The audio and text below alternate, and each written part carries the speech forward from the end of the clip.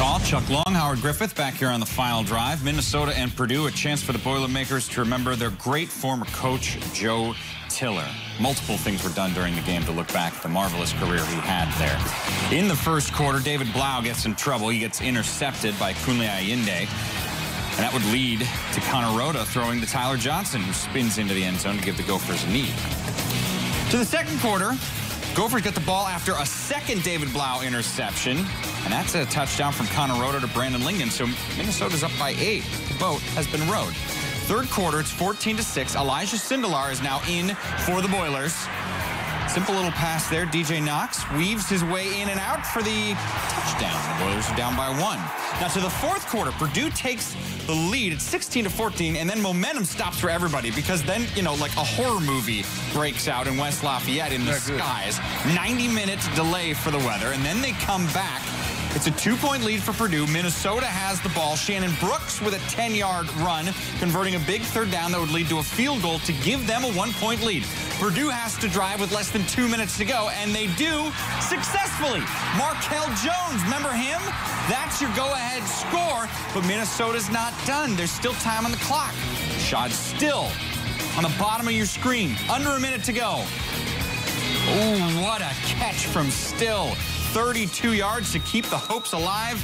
And on a fourth down, Minnesota needs more stuff like that. Just seconds remain on the day. 23 seconds when the play begins on a fourth and five. An interception for Ja'Whaun Bentley, and he takes it all the way back. Purdue wasn't even leading with two minutes to go, and they end up winning the game. 31 to 17 is your final score. Minnesota Gophers ran for 227 yards, but lost the game. They got four turnovers on the day, but lost the game. Why? Because Purdue won the fourth quarter 18 to 3. Rob Blackman was there. All right, guys, thank you. Coach Brohm, let's start with this. I can only assume in your coaching career you have never had a game where you turned it over four times in the first half, had to wait through a 90-minute weather delay in the second half, yet still found a way to win. What an outcome for your ball club here tonight. Well, it's not the way you draw it up, that's for sure. And uh, yes, I, am proud of our football team. You know what? Uh, the first half didn't go the way we wanted.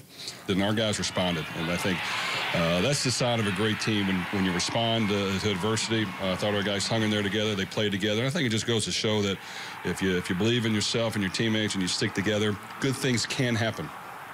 How important was your defense for your ball club today? Four first half turnovers, but your defense kept hanging in there and at least kept it close. Yeah, our defense was fantastic.